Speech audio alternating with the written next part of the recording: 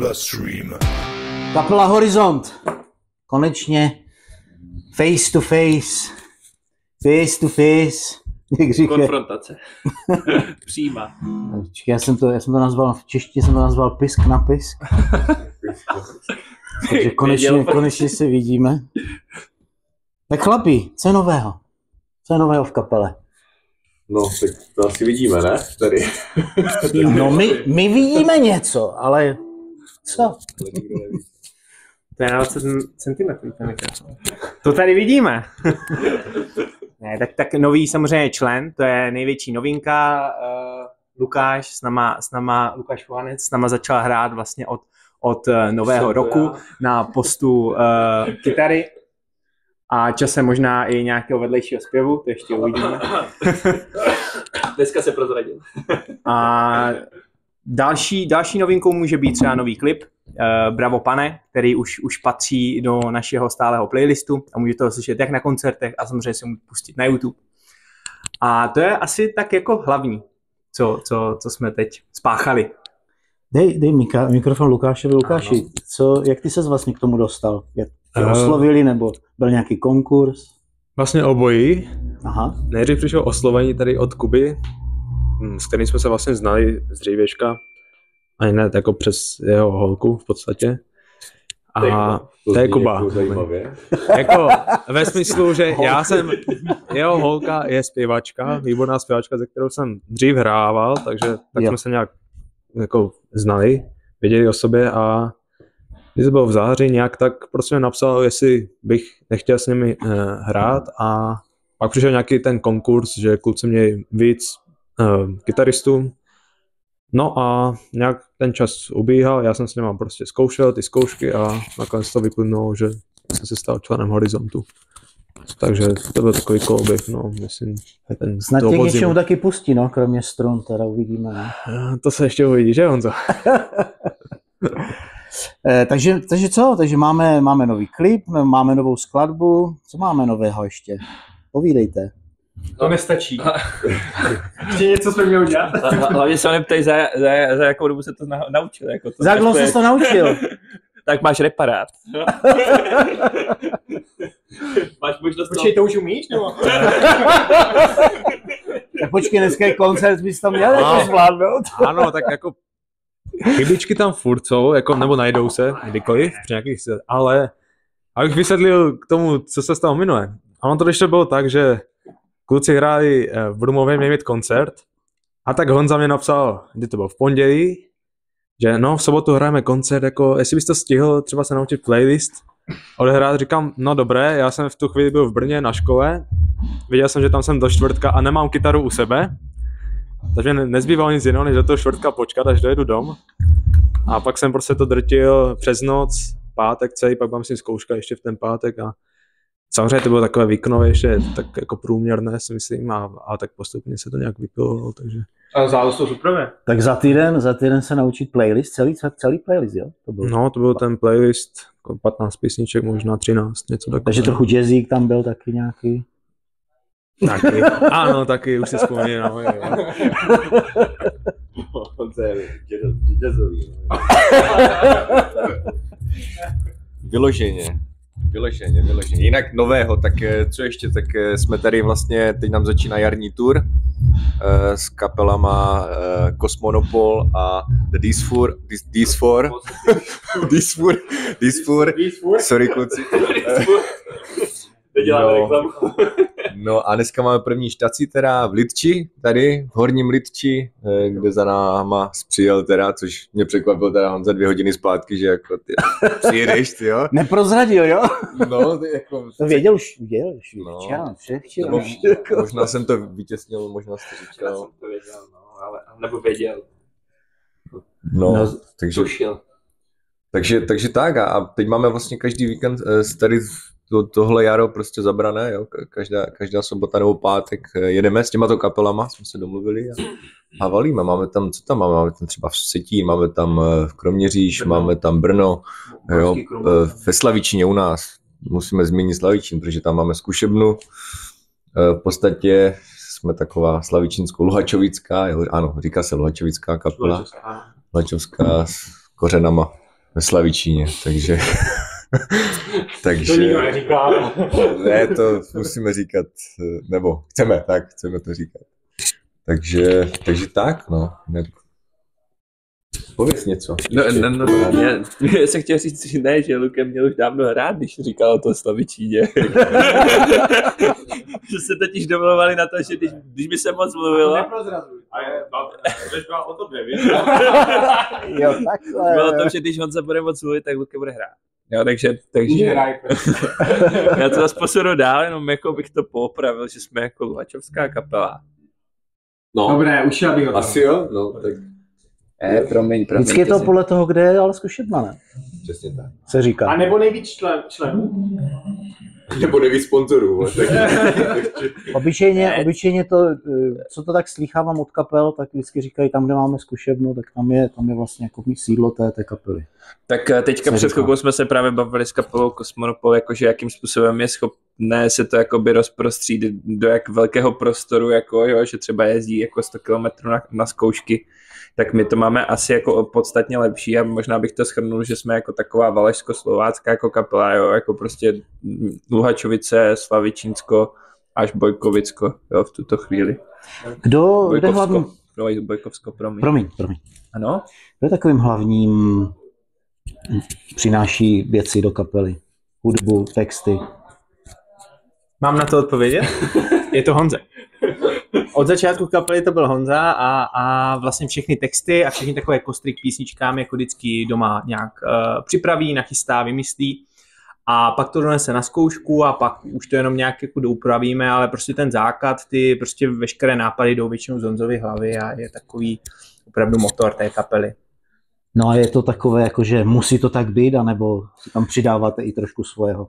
To si myslím, že tak není. Spíš, eh, jako, že, že, by, že by nějak autoritativně jako takto k tomu přistupoval, to, to, to, to si myslím, že ne. Že opravdu je to tak, že každý si k tomu může a nakonec to tak často dopadne, že každý si k tomu jako řekne svoje a, a ve výsledku každý má pocit, že k tomu něco i přinesl, byť je to zpočátku z hlavy toho Honzy, tak nakonec vlastně je to naše společná písnička Mhm. a, a je to si myslím tak jako nejlepší, nejpřirozenější. No.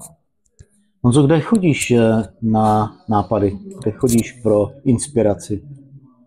No, ty jsi mě zastěl teďka tak, mě zastěl takové jako, takové jako pozici, kdy zrovna teďka jsem tak, tak jako neúplně vyrovnaný, protože jako jsem, bych řekl, poněkud jako delší dobu jako nenapsal nic, s čím bych byl úplně vyloženě spokojený, ale uh, a hledám to. Je pravda, že to hledám, to místo, jako kde ty nápady jako jsou nejlepší, protože jsem sám zjistil, že když jsem tak seděl, tak jsem přemýšlel tím, co tu hlavu jako přiměje k tomu, eh, nebo co je jako nejplodnější, tak abych to řekl, jo, prostě co je jako nejplodnější, jestli je lepší sedět doma, dívat se na to, a poříct, jo, jdu na to, anebo prostě jako jít někde ven, asi venku ze psem, a všeobecně potom eh, přijde člověk, musí okamžitě vzít kytaru a nahrát nějaký nápad a na druhý den se mu nes- nesmí zdát blbý.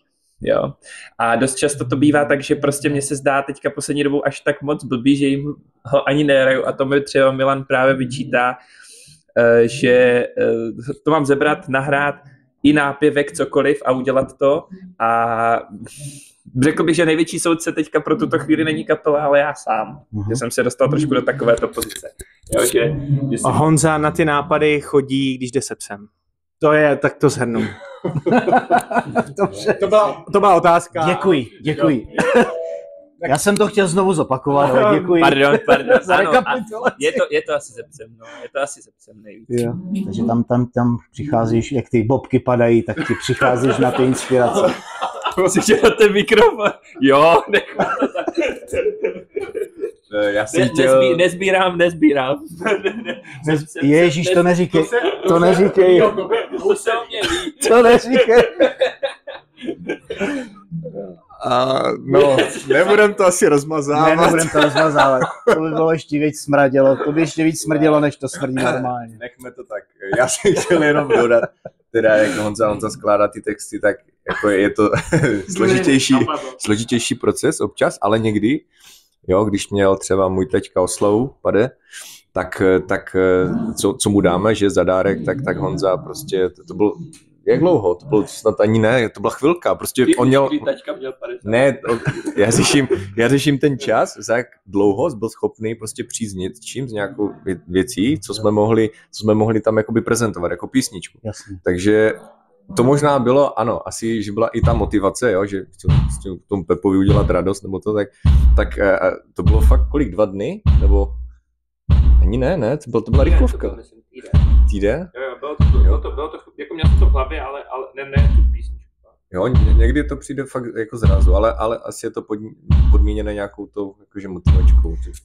Jo, jako je to, je to pravda, no. Ten, eh, třeba ten, třeba i Cyril, eh, to jsme řešili teďka v rádii, že ten Cyril prostě to byla taková rychlovka, prostě, že mě, že, že mě řekl jakoby jeden můj známý vlastně, pro kterého jsme to dělali eh, jako kapela, tak, tak mi řekl, že prostě to má, že, že bych chtěl jako hymnu, jo, firma Krajčí a prostě já jsem přišel domů, Sebral jsem papír, napsal jsem to a prostě on mi potom říkal, že to nepotřebujeme tak rychle, jako, ale, ale jo, je to tak. A i třeba, když se pojí, jako třeba mohl bych ti vyprávět, se pojí taková jako, jako zajímavá věc, že prostě já jsem písničku rozepsal a e, pak jsem mi měl jako nachystat, počkej, já to já ten dořeknu, e, jen, jen jsem měl jako nachystanou spolky, asi ani jsem nevěděl, o čem jako prakticky je, jo, ale prostě se mi to dobře zpívalo a pak eh, bohužel se stala jako taková nemilá věc, že mi prostě mezi tím umřel taťka, uh, taťka, umřel mi, umřel mi děda, umřel mi děda a uh, prostě já jsem přišel jenom domů z té nemocnice a jenom jsem to dopsal pak jsem to dal na pohřbu. Takže to bylo takový, asi jo, asi hodně se tam, hodně se tam tady tyto věci prostě dějou, no, jakože, že to, že to prostě ta hlava tak nějak podvědomně prostě má, má v sobě, no. Eh, Takže hudba je hotová, vyrážíte na turné. Co děláte, co děláte v té dodávce, když jedete, nebo v tom autě mezi, mezi štacema? Čím se bavíte? Nevím, proč zrovna já, já jsem to ještě tady nezažil s bocama, ale tak... Právě proto, víš? No, To vycenzuroval jenom tím předáním.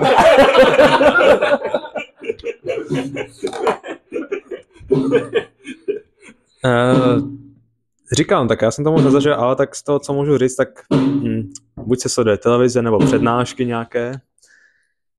Po případě tam mezi sedadly klimba prostě flaška eh, s mokem, takovým nespecifikovatelným. S vodou, no. Jo, jo. Do. A no, tam takové, to myslím si, že je prostě taková, že přední sekce dodávky, zadní sekce dodávky, kdy ta přední, tam se baví o nějakých tématech, zadní zase o něčem jiném. Nedej Bůh, když prostě za, no, konfrontace mezi sebou jako začne. A... Takže já jsem nic špatného nezažil, jestli k tomu třeba Míla chce něco dodat. A je, to, a je to hudba, politika, počasí. bych to, já bych to Kubo, řekni nám to. řekl, ne, vždycky, vždycky je pravidlo, kdo řídí, vybírá hudbu. Takže to si myslím, takhle. že je věčné, věč, věčný boj. A v tom je politika, v tom je všechno, jo? Jako politika kapely. No počkej, já se dneska říkám, měl vyprávět. Právě o tom chci mluvit, jo? Že eh, Promiň. Honza není možná autoritativní jako tady v tomto, když píšeme hudbu nebo tak, ale prostě co se týče muziky, tak vždycky, vždycky se jede podle něho. V podstatě. Ať už, ať už když řídí, nebo když je vedle. Když věci, Já, já už si myslím, že on vymýšlí, jak z toho devátého zadního sedadla prostě vydirigoval hudbu teďka, jako. Už jako vymýšlí ty způsoby, nevím, jako mám takový pocit. Zkus mi to vyvrátit. A vy taky. Takže dobře, takže posloucháte hudbu jakou? Proklínám Ne, ne, ty to tvoje ústa, proklínám. Jo, to tam fakt jede tady toto. Potom jede třeba můj playlist na Spotify, uh, když jedeme do, do Prahy, potom naši kluci, co s náma jezdí, naši, na, na, co se o nás starají, jako eh, tak technici, tak, tak, tak ti většinou nadhazují nějaké, protože jsou mladší, jak my, tak nadhazují ty moderní věci a my jim říkáme, že ne. To je jednoduché. to, No to je jasný. Tudy cesta nevede. Dobře, Modern. dobře. Eh, nějaká nová, vypadne nějaký nový videoklip v blízké době? No, eh, videoklip, vide- videoklip je taková jako sofistikovaná věc, jakože když se to tak vezme, jakože eh, chce to, chce to hodně nad tím popřemýšlet, jakoby kde se ta kapela teďka nachází a taky, taky chce přemýšlet nad, nad financema a kam se to celé prostě směřuje. Takže bych asi řekl, že eh, videoklip chystáme, my vlastně prakticky vždycky máme nějakou myšlenku, co by ten klip jako měl, kam by to mělo dál směřovat a myslím si, že to tak bylo i třeba se závodem o život, bylo to tak i s Bravo pane, Jo, prostě vždycky, vždycky jsme si prostě řekli tak a tady to bude směřovat. Myslím si, že jako je, je třeba i říct, kdo s tím chodí, chodí s tím prostě míle, že prostě přijde a řekne, oši, já si třeba myslím, že tahle songa by byla fajn. Mm-hmm. A uh, teď samozřejmě to tou kapou nějak profiltruje, jo. Uh, někdo řekne, jo, já si taky myslím, někdo řekne prostě, já si tím nejsem úplně jistý, nechceme vydávat něco jiného, ale ve směs určitě tam dáváme vždycky i ty singly, co jsou jakoby meziklipové, když to řeknu takhle, jo. Vždycky tam nějaké lyric video, vlastně dneska to asi takhle dělá, bych řekl, spousta kapel, protože víme, jak je to s CDčkama, jo, takže, takže tímto způsobem jako my to celé bereme, jo. Uh-huh. A klip uh, určitě bude, určitě bude, určitě bude, uh, ne, Není nedokáž... otázka, ano, ale když. Není otázka, ano, ale když. Až přijde ta správná chvíle. Tak už budou prachy, to je jasné. asi, a, asi, asi i tak, no, jakože uh, řekl bych, že jsme se posunuli z toho, z těch našich jakoby nízkorozpočtových klipů se za, pomalinku posouváme do těch jakoby středních tříd, samozřejmě nejsou to jako nějak, nějaké extrémní pálky, každý, kdo byl kdy v kapele, tak ví, jako, jakým způsobem, jaká je to řehole a jak je těžké se na každou korunu nadřít.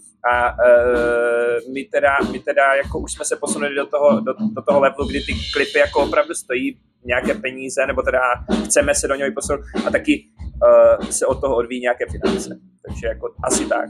Jo.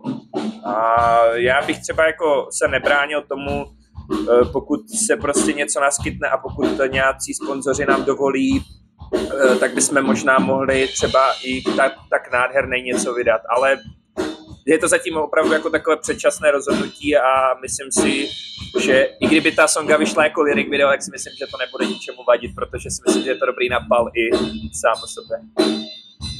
Eh, na závěr, co byste chtěli zkázat vašim fanouškům?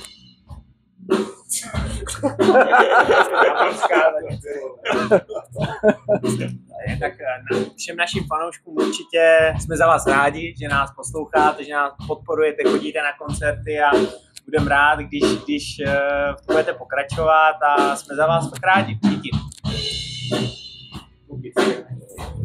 Uh, sledujte jednak webovky Horizontu, sociální sítě, Facebook, Instagram, Twitter taky, jo?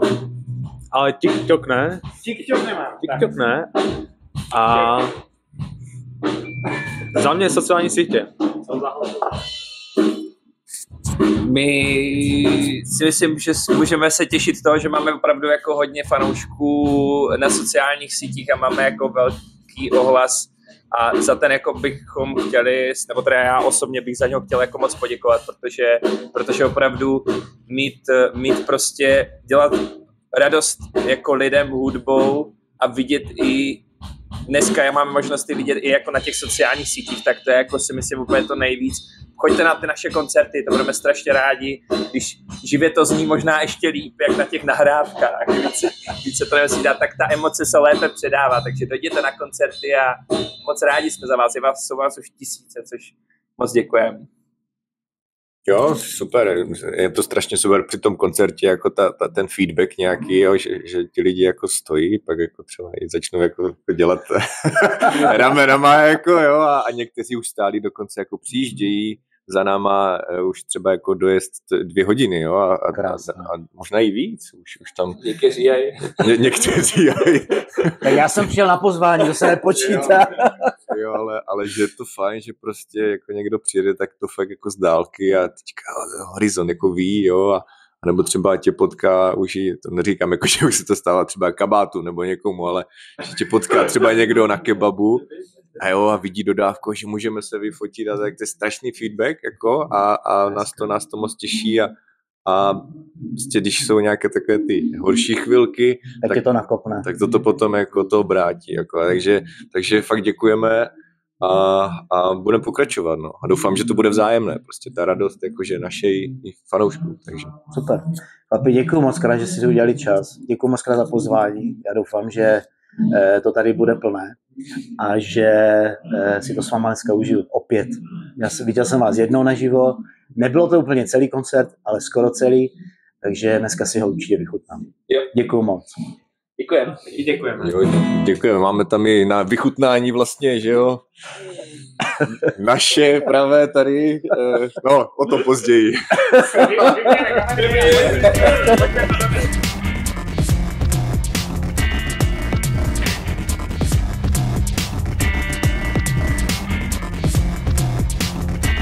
You're listening to Radio Bloodstream.